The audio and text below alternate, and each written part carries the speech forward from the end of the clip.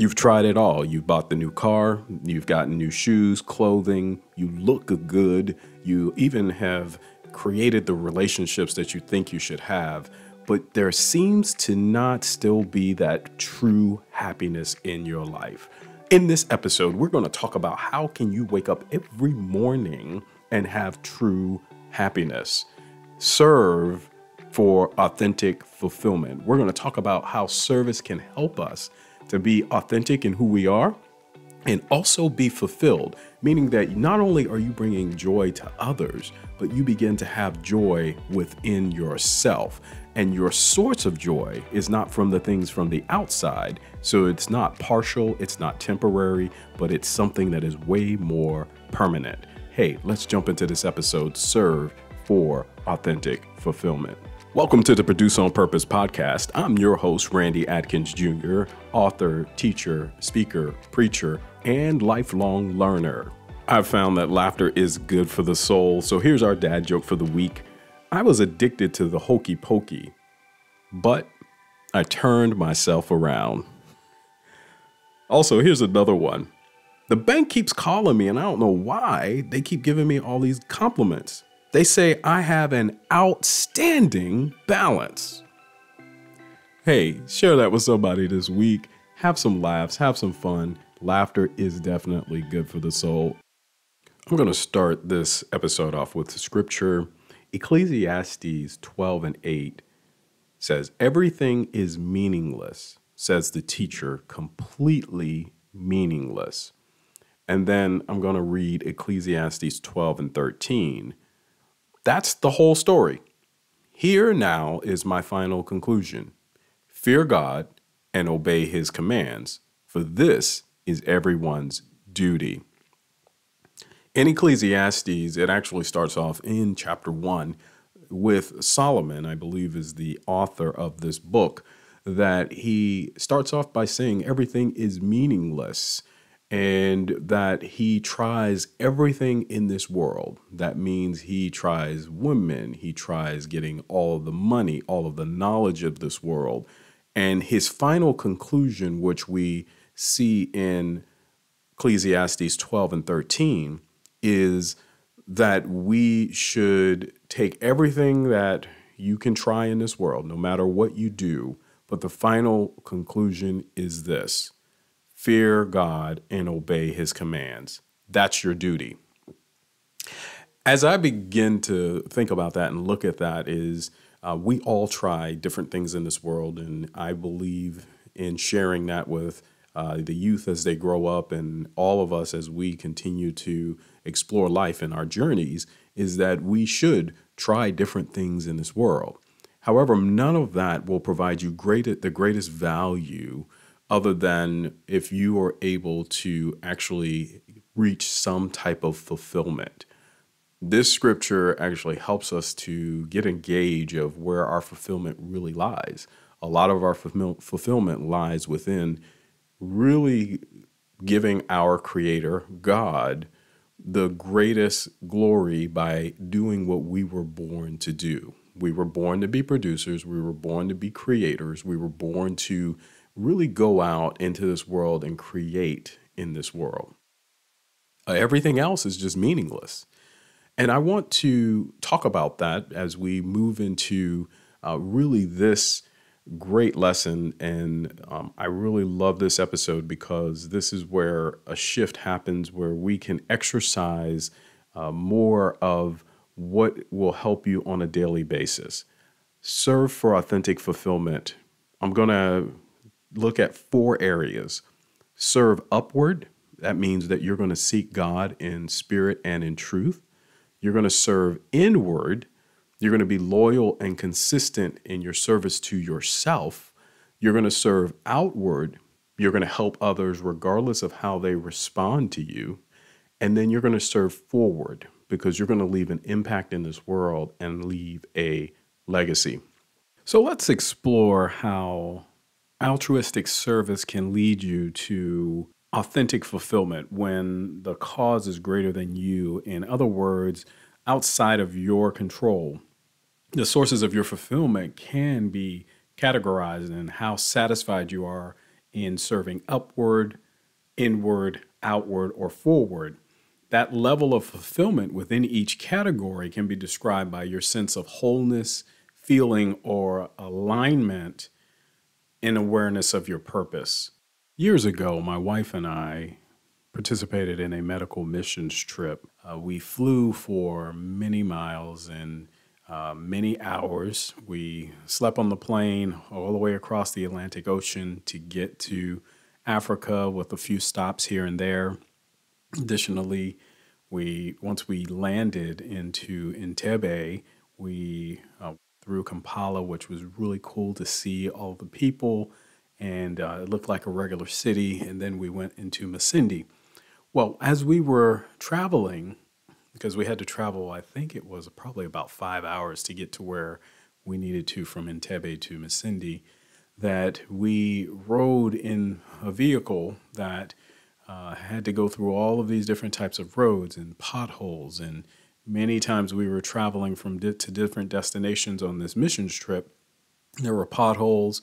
We even had some that were on the trip with us that got car sick.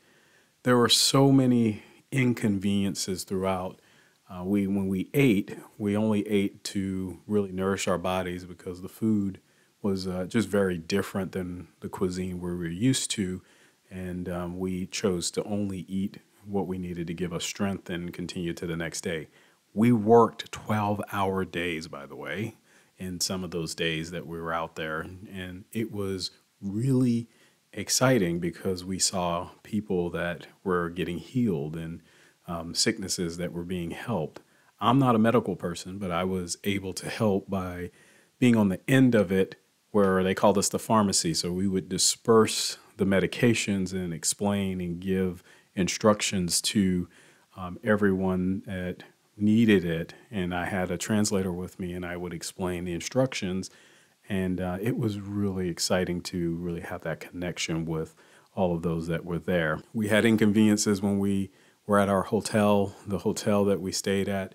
We couldn't drink out of the water, out of the uh, directly out of the fountain, so we had our bottled water even when we brushed our teeth.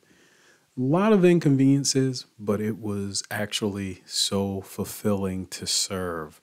When we served and we saw people being blessed, we saw people come to the Lord, that was amazing. And so I'm going to encourage you in this episode that when you serve, there is an authentic fulfillment that comes over you. So, what we experienced and what I experienced during that time was that not only were the people that we were um, working with and those that we were talking to, were they getting a blessing from us being there, but we were getting a blessing from giving. We even had conversations with some of uh, the teachers that were there, they had questions to us and they looked at us and they said, um, same, same, meaning that we had the same skin color. And they had many questions about us being African Americans here in America and how the schools were and how our children were. So we were able to show pictures and share pictures. And we found that no matter what the people that we talked to or those that were there in Uganda, that they would uh, really open open arms. They gave us information and they had smiles on their faces because they told us the most important thing to them was their families. The most important thing to them was their tribe, and um, we began to talk to them and try to associate with our lives. What's our tribe? What's who are the people that we are around? Who are we serving on a consistent basis? Life changing experience for us and I want you to have that type of experience in your life as well by looking into how you can serve. Serving is a key in this journey of having a spiritual awakening, also in having a place in your life where your life can have a change, to have a transformation happen in your life. Along this journey, if you can serve even in the most difficult times, even in the most uh, some of the most inconvenient places. They because there's a cause that is greater than yourself. It's an altruistic type of service. Then you will begin to experience this type of authentic fulfillment. So I wanted to give you four of the areas I brought up at the beginning. So let's start off by talking about serving upward. We are talking about the ability to serve that greater self that is within you. We discussed having a spirit within us in earlier chapters. As we seek God in spirit and in truth, we will begin to serve upward to that greater purpose that is within us. Serving upward, I want you to think about what it says in John 12 26.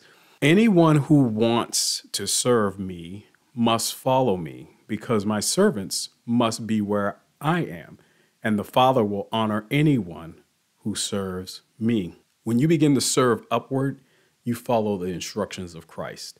That Christ consciousness we've talked about, having a different level of thinking that it's not only the things that I see with my senses, but I am going to live a life where my faith and the vision that God has provided to me is going to be what I'm going to work with. I remember as a child having the game Follow the Leader. The essence of that game is that you would follow whatever the leader would tell you to do gestures, movements, whatever it was. And you would mimic that leader, regardless of how outrageous the movements were or how silly they were. You were to follow the leader, otherwise, you were out of the game. The same thing is what Christ is challenging us is can we follow him in that manner? Can we follow him as a leader in our lives that where we can mimic his gestures, mimic what he did, mimic how he served. When we begin to serve our Creator by saying, I know that I have been put here for something that's bigger than me, then I'm going to begin to unify and I'm going to honor my Creator by serving upward, finding that purpose, being intentional about who you are. You will now serve Him by saying, I am going to fulfill that purpose that I've been put here for, that reason I've been put here for. God, I want you to guide me in this day so that I can continue in my service upward. And when I say upward, it's a service to your Creator, your God. Then I want you to think about serving inward. And serving inward is where your soul is.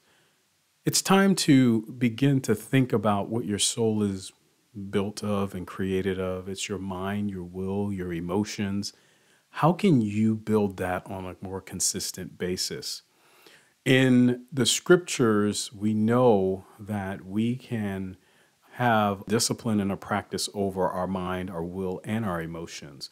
And some of the questions I want you to think about and ask yourself for your soul, here are some questions to help you practice humility on a daily basis. And I want you to write these down and use these on a daily basis to help you with your serving inward. What am I thankful for? Who do I need to forgive and why? Who can I bless? How can I bless them? What problems can I give to God to handle? Have I acknowledged God lately? If so, when and how? When was the last time I demonstrated pride? Am I willing to give up my pride in exchange for God's wisdom? To be humble?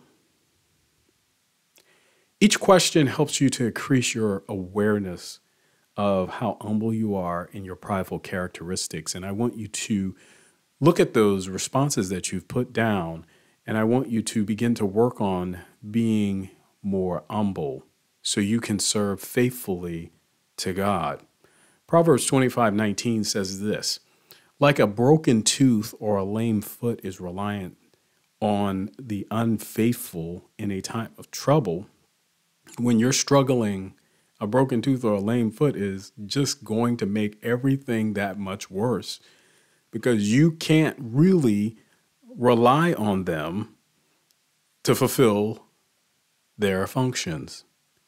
And when we have anything like pride in our lives, it takes up the ability for it to function in our lives. And if we want to function and serve inward, we've got to first be humble. And I want you to then figure out ways that you can serve your mind. How can you add to your mind positive things, things that strengthen you, things that make you better? How can you make sure that your will is strong enough to stand firm no matter what happens and what goes on in your life? I want you to speak to those things in your life that are uh, making you feel a particular way. I want you to pull out a feelings wheel and you can get to a feelings wheel. I have one on my website, feelings.randyatkinsjr.com. And you read the feelings wheel by going to the middle, and those are our primary emotions. And you can then go from those primary emotions like sad, happy, um, disgusted, and take a look. And then you can go to the outer circles to give you a more specific feeling that you may have. And then there's another level that you can go even more specific.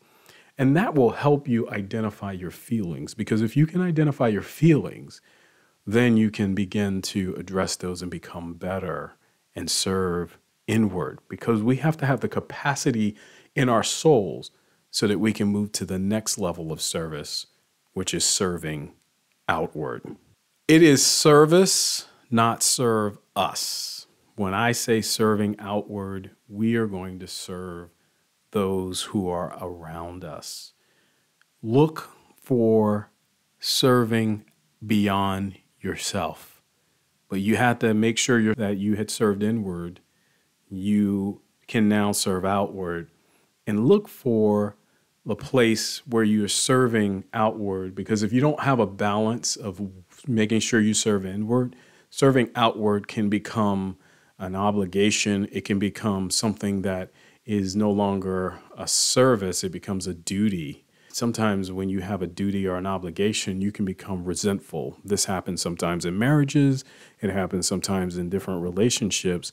If you're not serving inward first, before you serve outward. I want you to now, once you've served yourself inward and you've gotten to a place, you can begin to serve outwardly. Outwardly is what mostly we think of when we think of service, relatively easy to serve those who are above us or we feel have more than us or, or maybe in power. But I want you to look around you and maybe find those that may not be in power that you can serve. I want you to look at all that you can serve where there is no immediate benefit for you, that you can serve because when you begin to serve in this way, this is when you begin to actually show altruism. This is when you begin to show that I am going to help anyone that I feel needs any kind of help, no matter where they are, no matter their socioeconomics, no matter what um, race they may be, no matter who, how they may live, or where they have come from, or what gender they may be. I want you to look at everyone outwardly and find ways that you can serve. The example I want you to think about is in John 13, 3 and 5, where Christ was with his disciples and he was intentional about serving them. He knelt down with a towel and a basin of water, and he washed their feet. This was a typical thing that would happen in homes as hospitality because they would have dirty feet. But Jesus, being their teacher, and many times you see in the Bible where he's their master and their teacher, he kneels down and he shows servant leadership. I want you to make sure that you're thinking about what Christ did and follow the leader.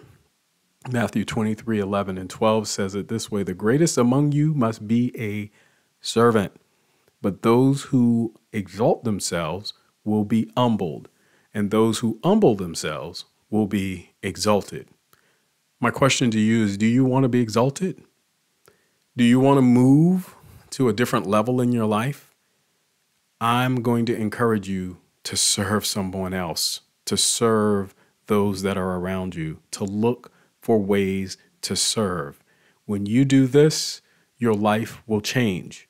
You will no longer be focused on the things that distract us from our greater purpose. Part of our greater purpose is to relate to others. Part of our greater purpose is to help others that are around us. When we help those, whether it's at work, whether it's at home, or those that are uh, in different organizations with us, when we help, it gives us a better feeling of uh, a fulfillment, of satisfaction, of wholeness in our lives. When we serve those like Christ served his disciples and he washed their feet, we begin to see that no matter what position we may be in, that we have been built so that we can come into this world and serve in a greater way. But I encourage you that you must first serve upward, inward, then outward. When you do this, you can then be in full balance to be able to help address the needs of those that are around you and bless them in a way that will help them and help you as well. We did the same thing when we were in Uganda and it changed our lives. We were able to feel how God was really wanting us to bless no matter who we are, where we are, that we are to bless those that are around us and serve and using our unique talents to do that. Christ didn't come to be served, he came to serve, and we should follow the leader, Christ, and do the same thing in our lives. And the last area I want you to think about is I want you to serve forward. There's a time component in our service in this journey, after you've served upward, you served inward, and you served outward, there's some service that we do that will go beyond our life here. This is a service that will leave a legacy and will impact this world forevermore because you were here. This is when you get to leave a mark. This is where you serve for future impact you may not see the end of what you do. I don't believe Martin Luther King Jr. actually got to see everything in that dream he said he had. Because of his service then, we began to see some of those dreams that he had come true. He served forward. We have the ability to serve forward by taking the time to do the work now, to serve and look at how we can make our society better. How can we make the world better? How can we love in a greater way? When we serve authentically, based on who we are, we're going to see fulfillment not only in our lives, but we'll see fulfillment in our future generations.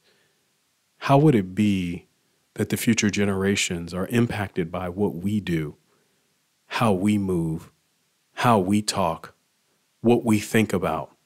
So when we seek our Creator, He's not only talking about now, He's also going to be in the future. He's going to touch those generations through us. When we follow His lead by serving and making sure service is a big part of our lives. And there's no one in this world that can't serve in some capacity service doesn't look the same for everyone, but I want you to do what you can do. I want you to serve upward, inward, outward, and I want you to serve forward. Leave a legacy, leave something for this next generation, leave something for this world that it will be impacted by you because God put something on the inside of you that you would produce on purpose. Hopefully, you enjoyed this episode. This episode is one of the culminations of what we've been talking about about becoming spiritually awakened, becoming closer to our creator, getting closer to being a producer that can create more, create on that purpose that you were born for. You were born to be a producer. You were born to create. You were born to make differences and changes. And some of that comes through when we begin to serve in all capacities. Hopefully, you enjoyed this episode and this lesson that we just went through. And I'm looking forward to us doing some greater things. So I want you to think about how can you serve and have authentic fulfillment. Next week, we're going to be talking about experience overflow. Once we've gotten to a place in our spiritual awakening and we are closer because we've been producing on purpose as a producer and creating, there is a place where you begin to experience overflow in your life. How would it be to experience overflow in your relationships? That means an overflow of love, overflow in your finances or in your resources in your life, overflow in your health. That means you are strengthened, you have no sickness, you are in a place of overflow that comes from your Creator. Overflow, meaning that you are fulfilled and whole in everything that you do. Experience overflow. That's our next episode. I'll see you next week. Thank you for listening to this podcast. I would like to ask you a favor if you would subscribe to this podcast on whatever platform you are listening on. Also, provide a review. Your feedback through reviews and sharing information allows me to create better content and also provide better information so that we can all be greater and better producers and that we can live a life that is more joyful, more happy, more loving, and exciting and fulfilling. You can also reach me at my website, which is randyadkinsjr.com. And there you will find information about the podcast, about my book, Produce on Purpose, Experiencing Life Being the Real You. I will see you on the next episode.